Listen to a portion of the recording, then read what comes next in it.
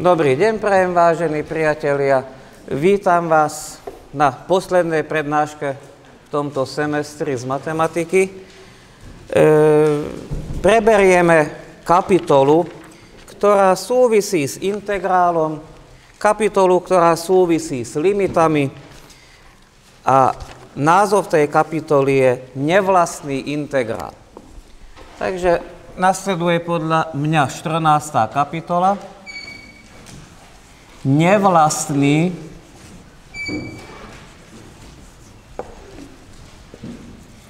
integrál. Nevlastný integrál. Tak my doteraz vieme, čo je neurčitý integrál, že to je množina akýchsi funkcií primitívnych, pre ktoré platí, že keď ich zderivujeme, tak dostaneme tú pôvodnú funkciu na danom intervale Vieme, čo je určitý integrál, že to predstavuje obsah istého krivočiarého lichobežníka, ktorého charakterizuje tá funkcia fx. Vieme určitý integrál používať pre výpočet objemu, dĺžku krivky, povrchu telesa, ťažiska a tak ďalej. A ten nevlastný integrál je niečo predsa len iné. Ako motivačný príklad vám nakreslím funkciu 1 lomeno x tak každý si vie predstaviť funkciu 1 lomeno x. No a vieme, že táto funkcia nie je definovaná v nule. Nie je definovaná v nule, to je jasné. Takže berem len túto časť hyperboly. Ale toto je jednička. No predstavte si, že keď niekto tak rozmýšľa, že no čo sa môže diať, keď predsa táto časť toho grafu sa blíži k y osi. y os ako priamka x rovná sa 0 je asymptota bez smernice. Tak viem ja niečo povedať o tejto ploche? Blíži sa tu k nejakému číslu, alebo bude akože nekonečne veľká? No a na toto dáme dneska odpoveď. Teda čo sa stane, čo sa stane, keď ja by som počítal takýto integrál. My vieme, že to v Riemannovom zmysle nemá zmysel, pretože e, tuto okolo nuly funkcia nie je ohraničená.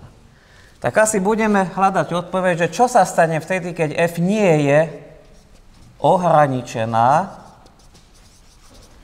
v okolí povedzme nuly. A to môže byť hociaké číslo. Ale takisto sa môžeme pýtať alebo položiť otázku, no čo sa deje, keby som išiel s xami do nekonečna? Čo sa deje s touto plochou? Teda, čo sa deje, keď ja budem veľkorysý a tú hornú hranicu nahradím znakom nekonečno a budem sa na toto pýtať. To zase máme na mysli obsah pod grafom funkcie a medzi osou x. Od, nie, nie od nuly, ale od tej jedničky. Čiže tu sa budem pýtať na funkciu, ktorá nie, že nie je ohraničená, ale f je definovaná teraz, v tom zmysle, na neohraničenom intervale. Na neohraničenom intervale, a ten interval je 1 a plus nekonečno. No preto neohraničený interval, lebo z pravej strany neviem tam urobiť čiaru, že dosť. Lebo ide x sa blíži do nekonečna.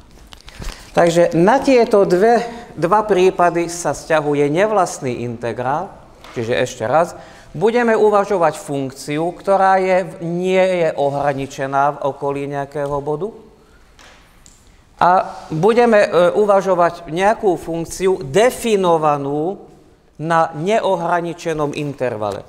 To, že neohraničený je tento interval, pretože jedna nekonečno proste, no odtiaľ začnem a idem do nekonečno. No a ukazuje sa, že sú dve možnosti. Buď sa dopracujem k reálnemu číslu, alebo k plus nekonečno, alebo mínus nekonečno. Určite sú aj prípady, keď neexistuje ten integrál. Hej? Takže to je ako dôležité si uvedomiť a napíšeme nejakú takú definíciu. napíšeme definíciu, e, nejaké vlastnosti, spôsob výpočtu a už nejaké príklady potom nasledujú. Takže definícia 14.1. Bude to kus dlhá definícia, ale skúsime. Nech funkcia f je definovaná na polootvorenom intervale a, b, pri b je otvorený interval, to nepovieme nič, lenže mám takúto funkciu. Tieto ďalšie predpoklady sú, e, nech sú splnené predpoklady.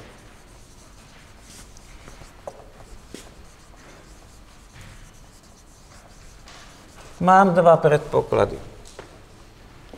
Funkcia f je Rimanovsky integrovateľná na intervale a t, pričom to t je menšie ostro ako b. Tu sme povedali, že ak idem doľava od b, nájdem tam také t, a na tom intervale AT existuje Rimanov integrál, funkcia f je Rimanovsky integrovateľná. A ďalšia podmienka je, že f nie je ohraničená. F nie je ohraničená v okolí b, toto b je pravý koncový bod intervalu, alebo pripúšťam aj tú druhú možnosť, že to b je plus nekonečno. Teda do tých predpokladov vlastne, alebo do tých vlastností som zahrnul obidve možnosti.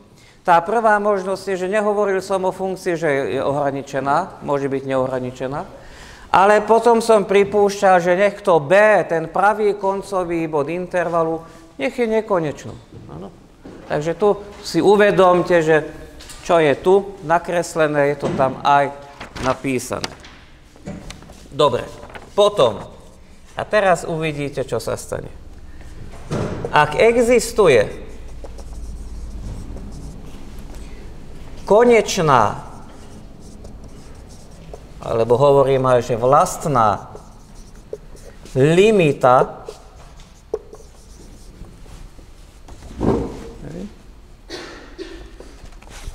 pozor, to bude také ubíjajúce napísať, limita i, t ide k b, integrál a po t fx dx, označím to i, O chvíľu vysvetlím, čo je tá limita. Tak, hovoríme že integrál a po b fx dx, teda ten nevlastný, že tento integrál konverguje. A slovo konvergenciu vy ste už počuli. Slovo konvergencia sa objavilo aj pri postupnostiach. To je špeciálny typ funkcie, postupnosť. A my sme uvažovali, alebo hovorili sme, počítali sme, čo, kedy postupnosti konvergujú. No, dobre. Toto je dosť zložitý zápis, ale ešte tá definícia pokračuje jednou gramatickou vetou. Teda ak existuje konečná limita, táto, tak hovoríme, že, op, hovoríme, že fun- nevlastný integrál konverguje. V prípade, že to i, teda hodnota tej limity je plus nekonečno, alebo mínus nekonečno, hovoríme, že ten nevlastný integrál, tak ako postupnosť, diverguje.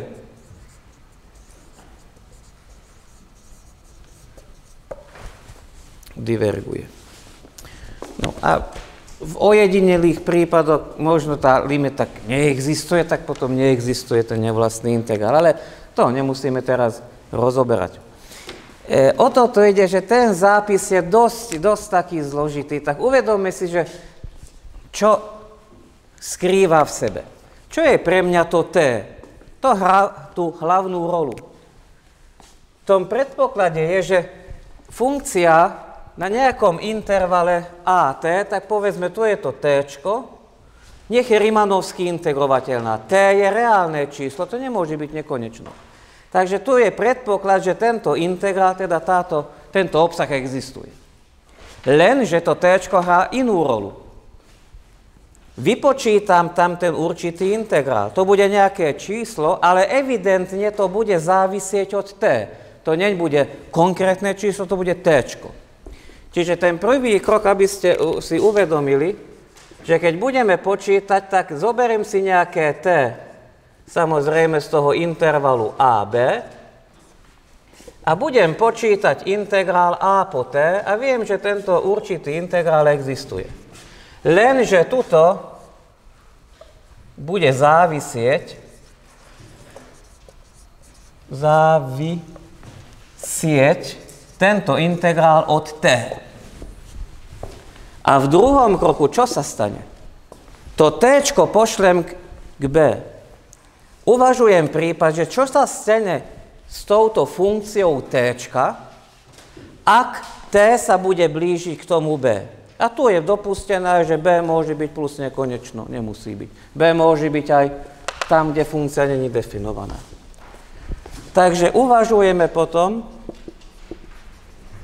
limitu pre t idúce k b. Ako keby, keď to b je nekonečno, tak to tú plošný, ten plošný obsah ako tú hodnotu, ktorá závisí od T, to T pošleme do nekonečna, pozrime sa na to, čo sa deje. Alebo to T pošleme k tej nule tu na a pozrime sa na to, čo sa deje s tou plochou. Na, sú dve možnosti, buď to konverguje, alebo diverguje. No to, to uvidíte skôr na príkladoch. Hej. Ešte jedna poznámka. Toto číslo i sa nazýva teda ten nevlastný integrál.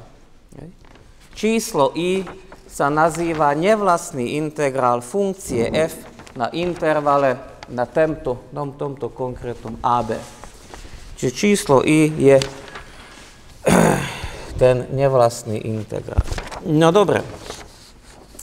Teraz nejaké vlastnosti rýchlo, pretože tu, aby sme mohli počítať príklady, musíme nejaké vlastnosti povedať, ako to je so skalárnym násobkom, so súčtom, s rozdielom, so súčinom. Také veci, ktoré vždy, keď zavedieme nejaký pojem, máme, áno. Takže veta 14.2.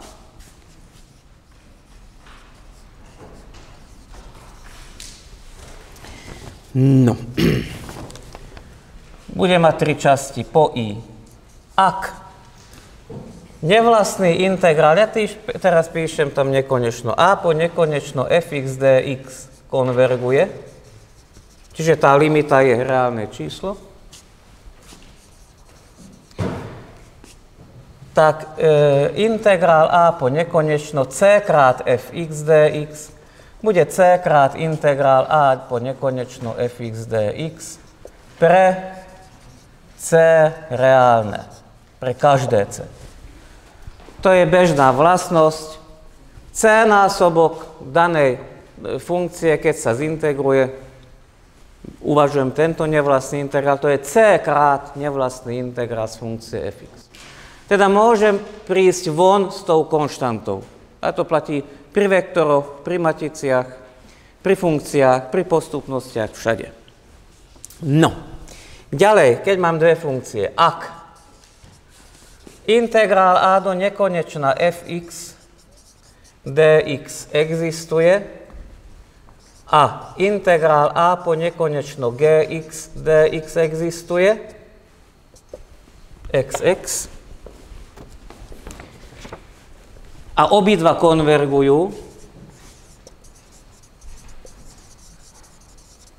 Obidva integrály konvergujú No tak platí aj, že integrál a do nekonečna fx plus mínus gx konverguje. Ano. Takže súčet rozdiel prejde.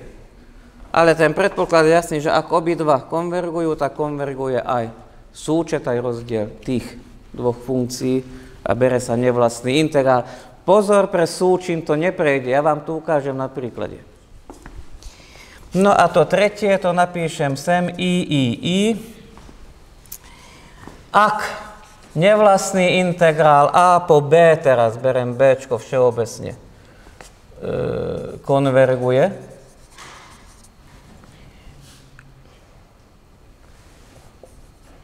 tak pre každé c z intervalu a, b, také, že c je medzi a a b platí, no vidíme to ešte, že ten integrál sa dá pri tom c rozdeliť na dva konvergentné integrály.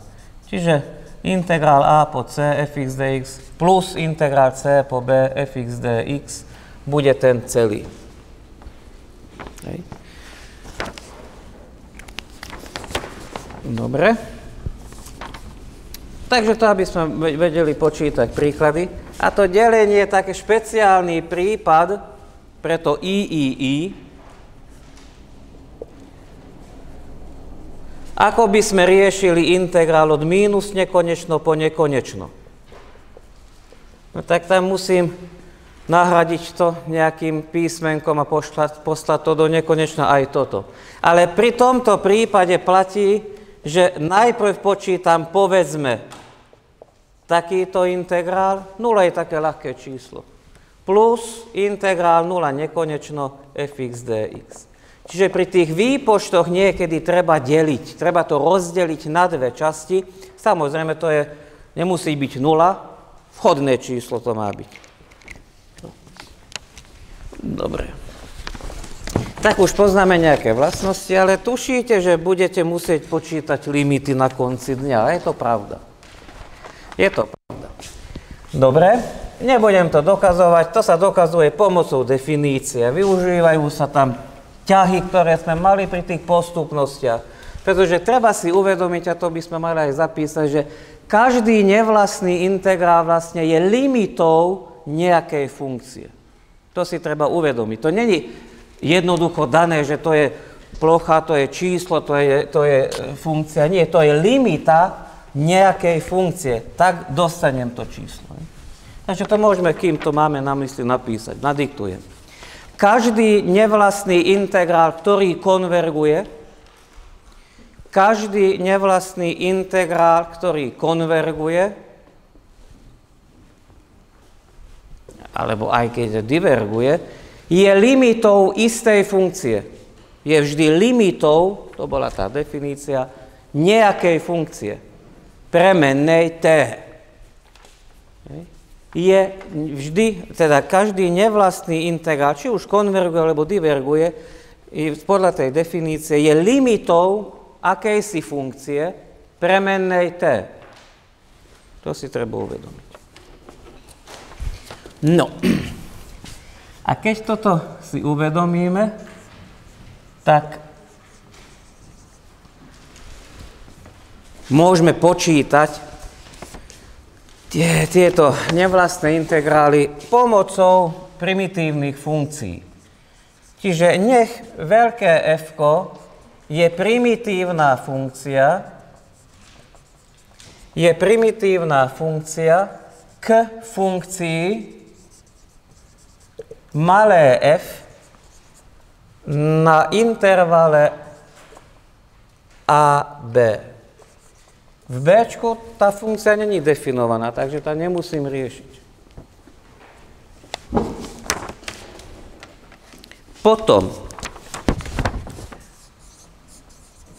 nevlastný integrál a po b. Napíšme to tak, lebo keď len ten integrál píšem, tak niekto si bude myslieť, že to je určitý. Potom nevlastný integrál a po b fx dx konverguje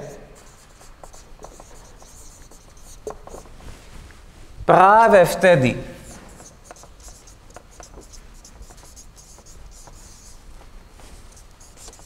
keď existuje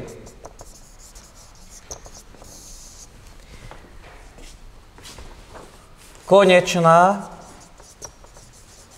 čiže vlastná limita. Takže súvisí to s týmto. Aj tá hodnota, ako sa k tomu dostať. Limita x, e, nie, ale x ide k b, veľké fx. A uvedomme si, že to veľké fx, aby sme to nezabuli, čo je to, že primitívna funkcia.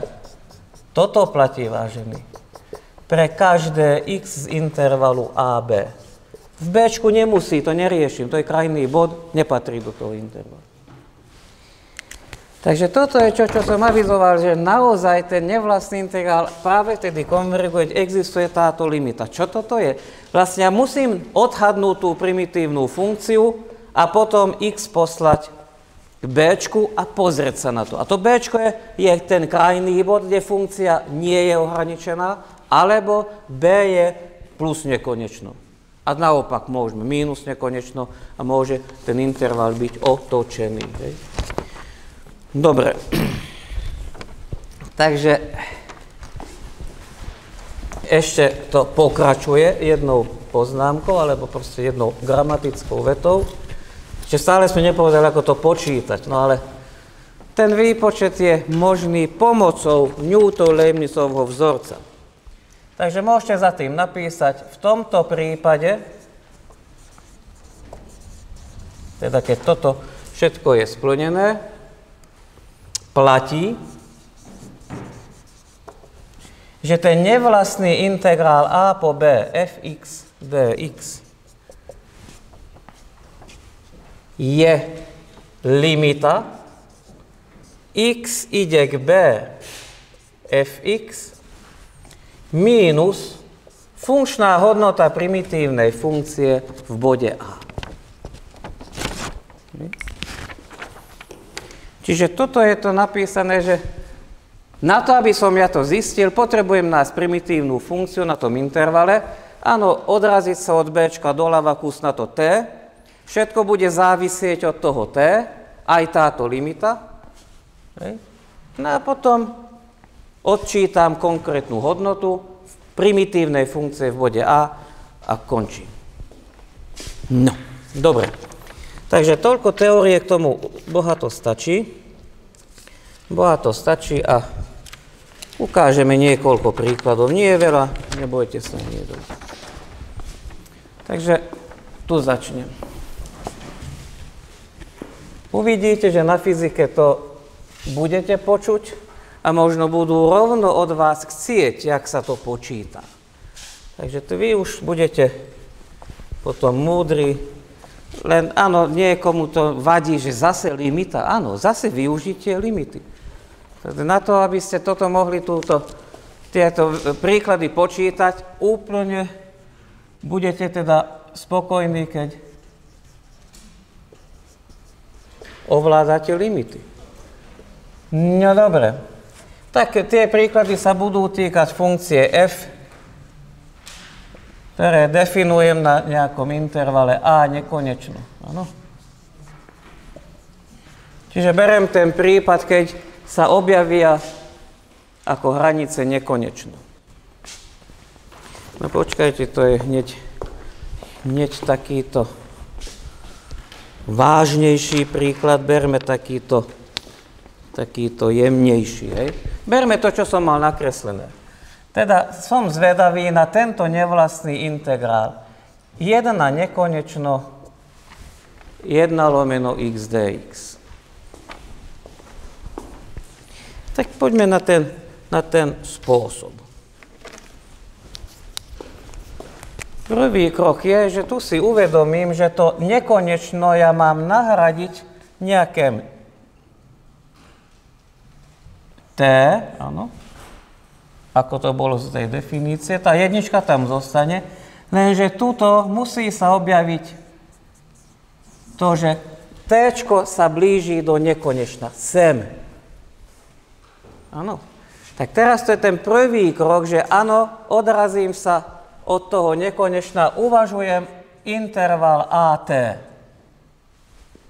Tam budem počítať určitý integrál. Z akej funkcie? Z 1 lomeno x dx. Však to vypočítame. Ale potom budem uvažovať túto limitu, lebo musím sa na to pýtať, čo sa deje, keď t bude veľmi, veľmi, veľmi, veľmi ďaleko. No ale my vieme počítať určité integrály. My vieme, že primitívna funkcia 1 lomeno x je ln absolútna hodnota z x, nie? Hranice budú, pozor, 1 a t, to musím dosadiť. No a to potom dosadím najprv hornú hranicu, ale vždy mám na mysli tú limitu. Dosadím t, ln, absolútna hodnota t, mínus ln a dosadím dolnú hranicu, čo je jednička. No, ln jedničky je 0, Čiže tu ja vlastne dostanem, a tu vidíte, že to závisí od T. Tá limita závisí od T. A mám za úlohu vypočítať túto limitu, T ide do nekonečna, ln absolútna hodnota T. No to je veľmi ľahká limita pre nás. Prečo? Stačí použiť vlastnosť logaritmu. Logaritmus je takáto funkcia. ln absolútna hodnota T, na to ma nezaujíma teraz to je len LNT, ale T ide do nekonečna, takže ja sa pozriem na to, čo sa deje tu s funkčnými hodnotami. No oni odtekajú kde? Do plus nekonečna. Ide to hore, hore, hore, hore. Stále, stále. Inak táto funkcia je zaujímavá. Tá celá funkcia je takáto, teda tento graf a tento graf dokopy. Pretože tu môžem uvažovať aj záporné t na počes absolútnej hodnoty. Lenže nulu nikdy, hej? Nulu nikdy. Ale teraz nás zaujíma táto časť toho grafu. T ide do nekonečna, takže tá limita má hodnotu plus nekonečno. No tak to sme dostali výsledok, že tento nevlastný integrál diverguje.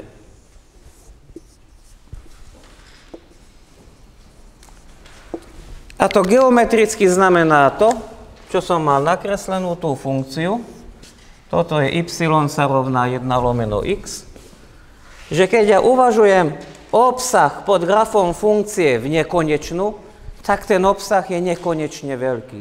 Není to reálne číslo, stále to narastá. Jasné?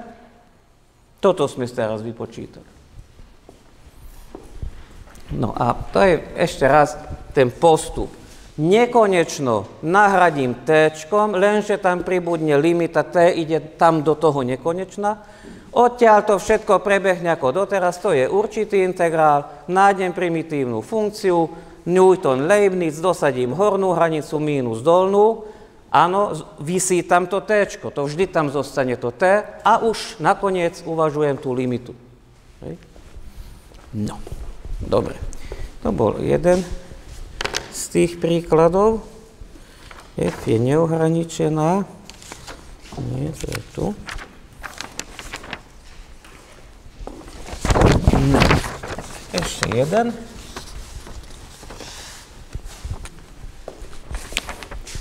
Tak môžeme takýto, aspoň si preopakujeme substitúciu. Lebo keby sme išli hlbšie do tej teórie, tak metóda substitúcie, metóda per partes, tieto metódy majú svoju podobu aj v tejto časti integrálneho počtu. Pekná funkcia x krát na minus x na druhú. Uvažujem, čo sa stane s tou plochou, keď uvažujem x do nekonečna. Dobre. Tak ten výpočet. Nekonečno nahradím t, a už mám vlastne integrál, ktorý sme schopní vypočítať. No a či sme schopní, tak pozrieme sa na to. Najprv ten neurčitý. Nájdem tú primitívnu funkciu. A teraz sa zadívajte, potrebujem ja per partes, i keď je tam taký krásny súčin, alebo ani nepotrebujem. No, prídeme na to, že nie, pretože toto x je vlastne deriváciou x na druhú, čo tu vidí. To znamená, že skúsme substitúciu a nemusíme dať iba x na druhú, ani mínus x na druhú, ale buďme odvážni a dajme celú funkciu e na mínus x na druhú. Derivujem ľavú časť, no pozor na túto deriváciu.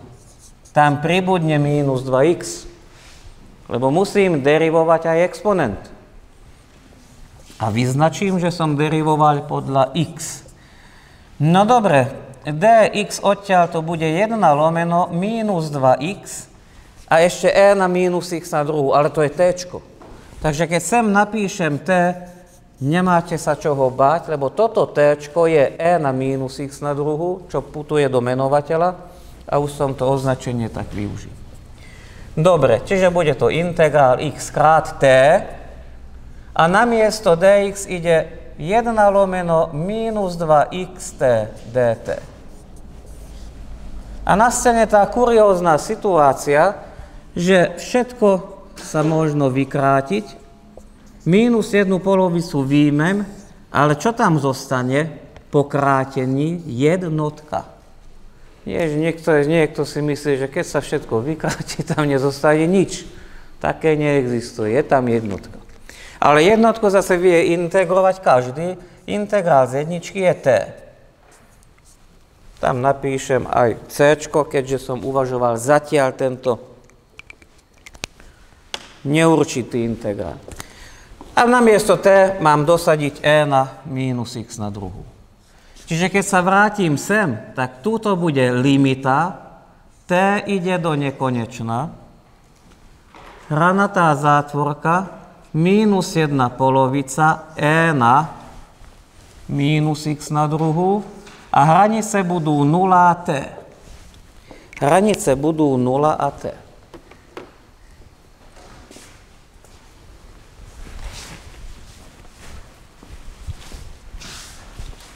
No. A teraz áno, úloha je vypočítať tú limitu. Úloha je vypočítať tú limitu. No dosaďme najprv hornú hranicu limita. t ide do nekonečna. Minus jedna polovica e na minus t na druhú. Tu je minus jedna polovica, ale aj vo vzorci je minus, takže to bude plus e na nultu. Plus e na nultu. Takto. A ten druhý ščítanec tam není T, ten druhý ščítanec je jedna polovica, to môžem sem dať. A vlastne aj tú druhú mínus polovicu, jednu polovicu môžem vyňať. Celé, celú záležitosť takto môžem napísať. No stojím pred otázkou, čo je tá limita. T ide do nekonečna, E na mínus T na druhú. Ale urobím tu taký elementárny ťah že to e na minus t na druhú je vlastne 1 lomeno e na t na druhú, nie? A to už je jasné, že keď t ide do nekonečna, aj t na druhú ide do nekonečna a e na nekonečno sa blíži do nekonečna.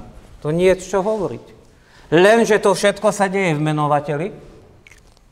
Menovateľ sa blíži do nekonečna a 1 lomeno nekonečno je čo? Nula. Lenže pozor, to je, táto jedna polovica tam zostala, ale hodnota tej limity je nula. Hodnota tej limity je nula, čiže ten celý výsledok je jedna polovica. To znamená, že ten daný nevlastný integrál konverguje k číslu jedna polovica.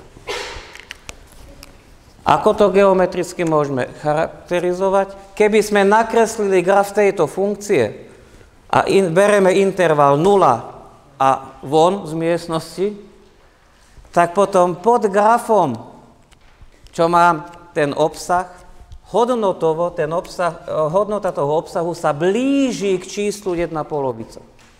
Takže je to konečné číslo. Nikdy to nedosiahne, lebo vieme, že limitne to teda sa blíži k tomu číslu. No.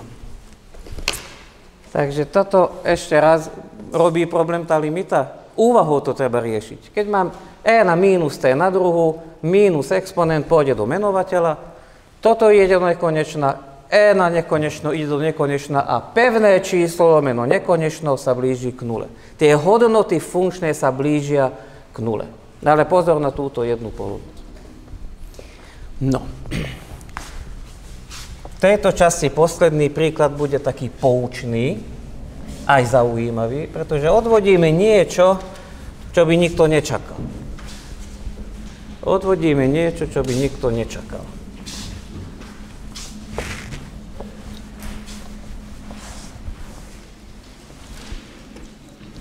Budem to písať modrým, lebo to je nejaký krajší príklad. No. Označím in integrál 0 nekonečno e na minus x tu krát x na n tu dx, kde n ide od 0 do nekonečna. Je to tzv. rekurentný vzťah. No a prečo je to pekný príklad? Lebo ukážeme, že to in je vlastne n faktoriál. No to už, kto by to už čakal? Hodnota toho integrálu, keď n je jednička, to bude jednička, keď n je dvojka, to bude 2 faktoriál. Poznáme faktoriál, hej? Pre istotu. Pre istotu. 0 faktoriál je definovaný ako 1 a vlastne súčin za sebou idúcich prirodzených čísel označujeme ako n faktoriál.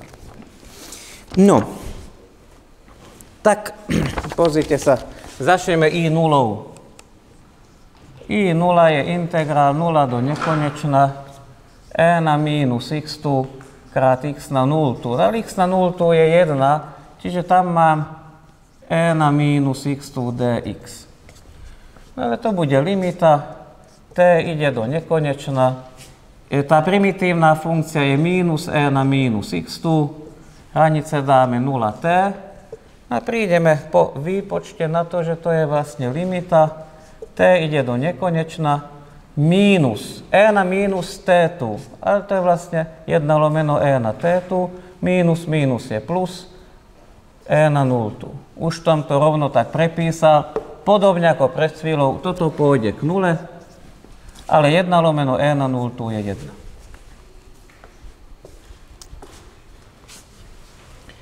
Keby sme vypočítali i1, no tam už naozaj nastúpi metóda per partes na túto primitívnu funkciu. No a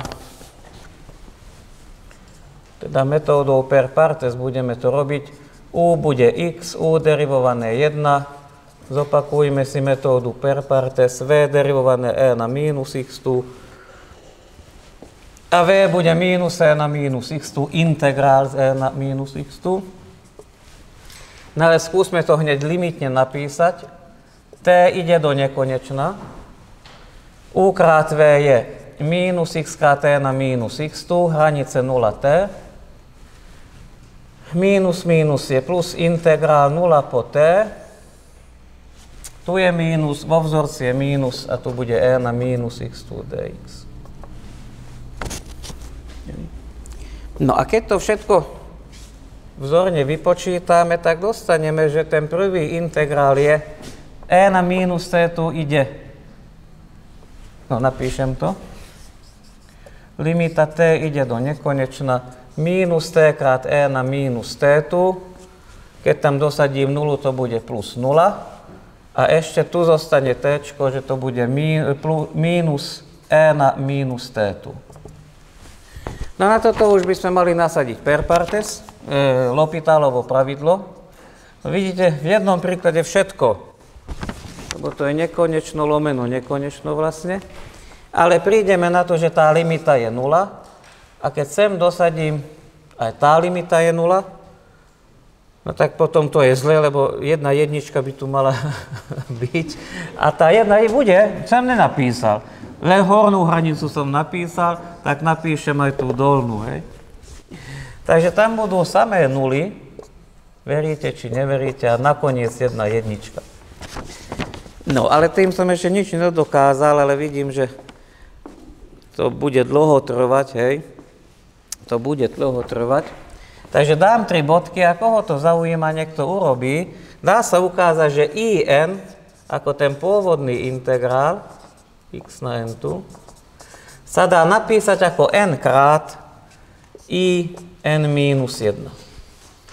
dá sa k tomu dopracovať pomocou metódy. Keby sme dali I2, I2 by bolo dvojka. Ešte aj tam to nevidíte, ale I3, keby ste dali, tak to bolo už 3 faktoriál. To by bolo už 6. No. Teda dá sa to sa k tomu dostať nejakým spôsobom. Robíme to, robíme to a prídeme na tento vzťah. Ale pre nás je, akože, čo odniesť z tohto príkladu? Tuto vidíme súčin prirodzených čísel. Tuto zase vidíme funkciu, ktorá je definovaná na intervale 0 nekonečno. Takže tam nadobúda reálne hodnoty, ale keď pozrieme sa na to, čo sa deje pod grafom funkcie, že keď n bude 1, 2, 3, to vždy tú plochu viem charakterizovať prirodzeným číslom. To je krásny výsledok. Že keď zoberete i5 napríklad, toto bude integrál 0 nekonečno e na mínus x krát x na 5. Toto je konkrétna funkcia, nakreslím, vyznačím tam ten interval a uvažujem obsah pod grafom funkcie. Ale ten obsah je presne 5 faktoriál. Koľko to je? 120? No vidíte. Tam nevidú ani racionálne čísla, ani iracionálne. Pekné, prirodzené. No dobre, ešte aspoň jeden príklad na, na neohraničenú funkciu, pretože teraz tam svietili tie nekonečná, tak teraz skúsme ukázať niečo iné. Takže príklad 14.5.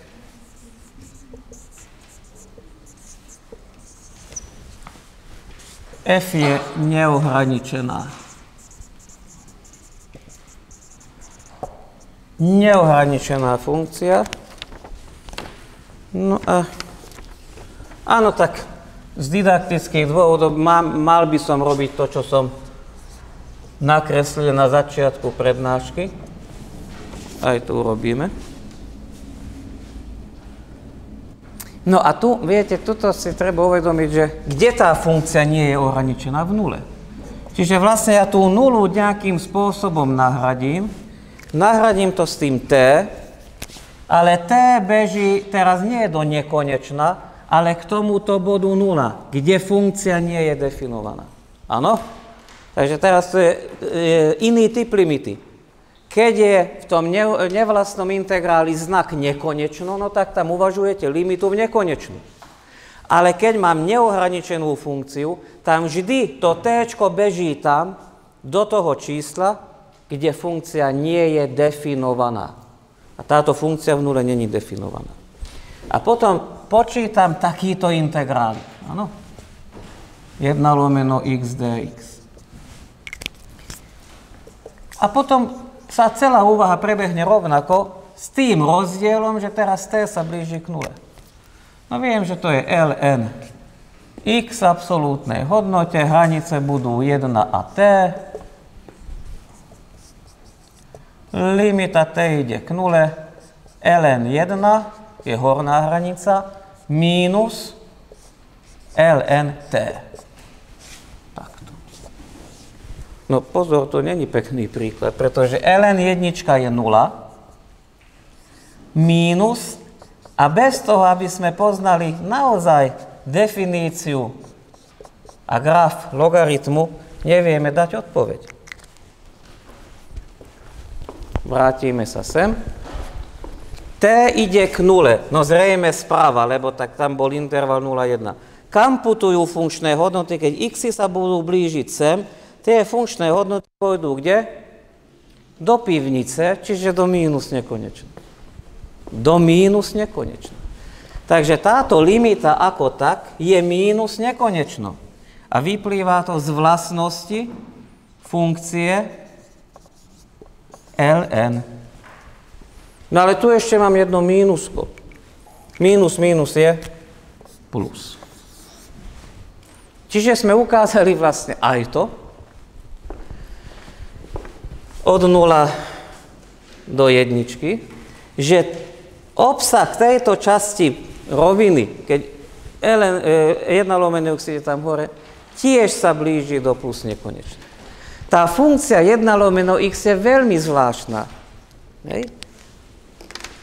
Čiže aj jeden, aj druhý ne, nevlastný integrál, ktorý takto môže môžovať, má hodnotu plus nekonečnú. A teraz sa budete veľmi čudovať. Stačí len máličko pomeniť túto funkciu a dostanem úplne iný výsledok. Čo myslím, že máličko pomeniť túto funkciu? Ah. Dajme jedna lomeno od mostina z x. Takže druhý príklad, taký nevinný, je 0 po 1, 1 lomeno od mostina z x dx. Áno, táto funkcia je iba definovaná na intervale 0 nekonečno, no ale má to veľmi podobný priebeh ako 1 lomeno x, nie? Len tak to od mostina z x bude nejaké menšie číslo, tak funkčná hodnota bude väčšia, tak to bude tá lenivejšia tá funkcia. Hej? Ale priebeh tej funkcie je rovnaký. Je to hyperbola.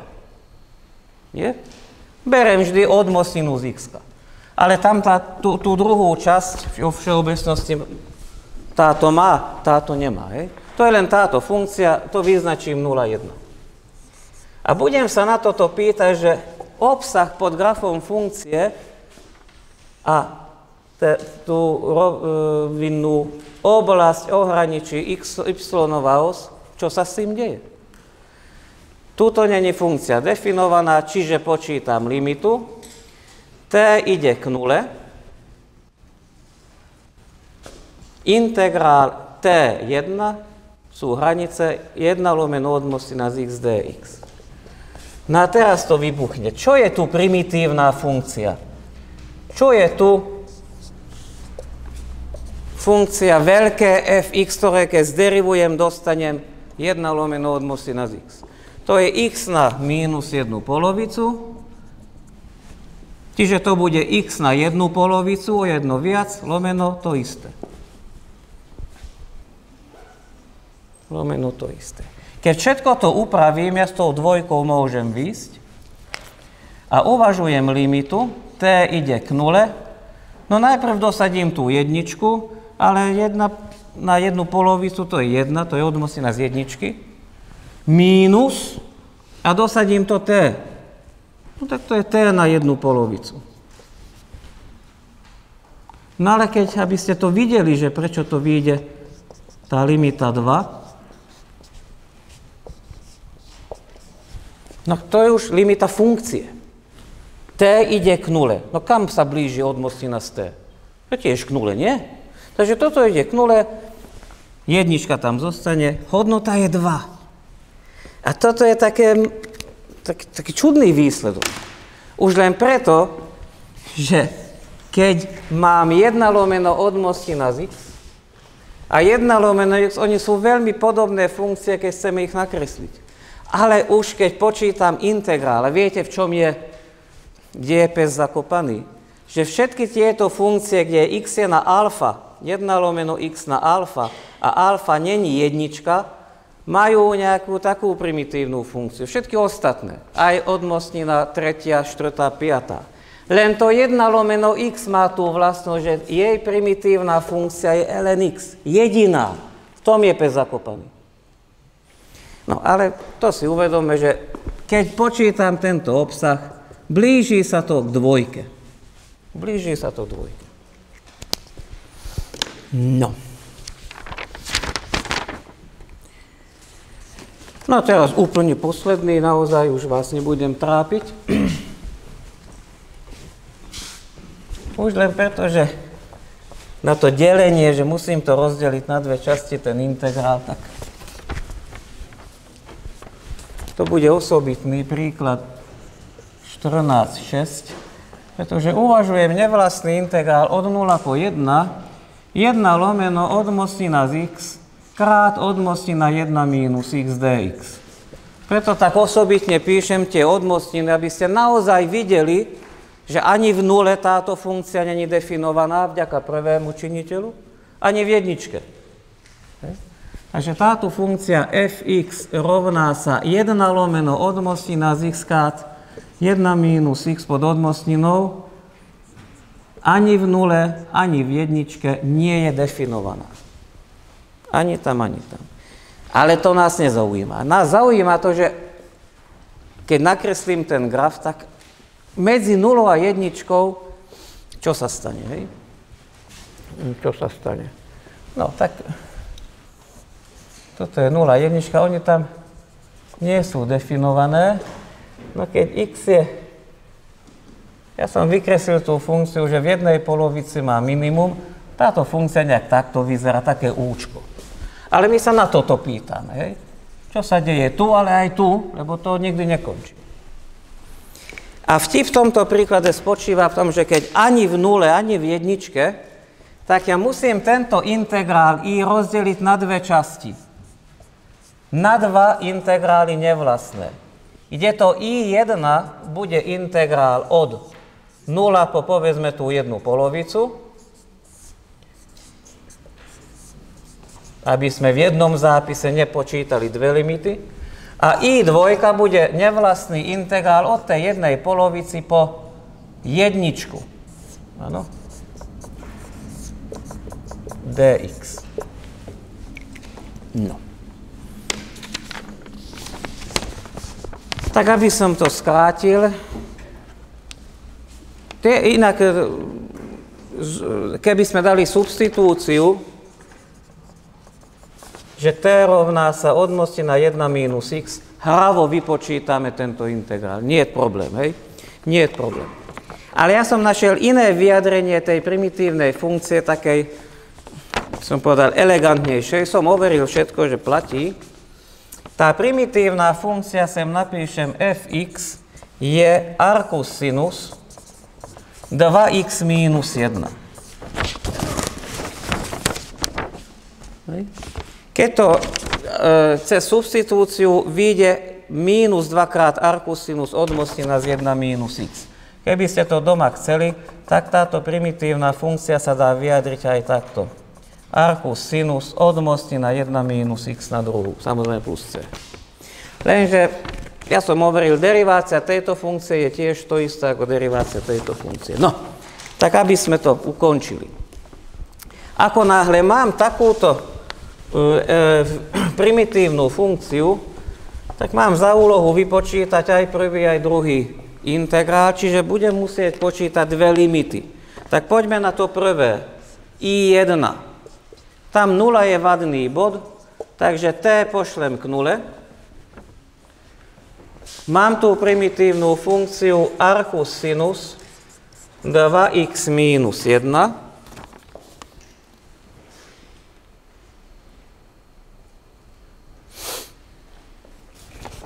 a hranice budú teda jedna polovica a t. No a to, že keď dosadím už tú jednu polovicu, môže byť problém pre niekoho. 2 krát jedna polovica je 1, minus 1 je 0, arcus sinus 0 je 0 ale napíšem arcus sinus 0, mínus a dosadím t. Arcus sinus 2t mínus 1. Áno. Arcus sinus 0 je 0, to je jasné pre každého, dúfam. Cyklometrické funkcie. A keď t ide k nule, tak tu dostane čo? Tu zostane arcus sinus mínus 1.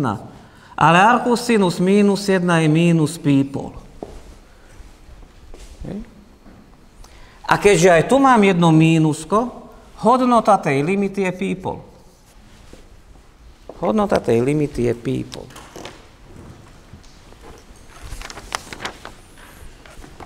Takže poznať, viete, vyjde arcus sinus, t ide k nule, ešte to není zachránené, lebo tam zostane mínus 1. Arcus sinus mínus jedničky je minus people, pretože sinus minus 90 je minus 1, ale takže tu je minus.